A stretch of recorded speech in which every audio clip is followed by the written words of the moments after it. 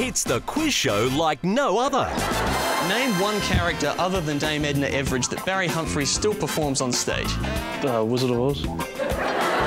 Join comedian David M. Green I'm David M. Green. and have some fun with trivia. You're not just David Green, right? You're David M. Green. Hang on, I'll just need my cue cards for this. 31 questions, Saturdays,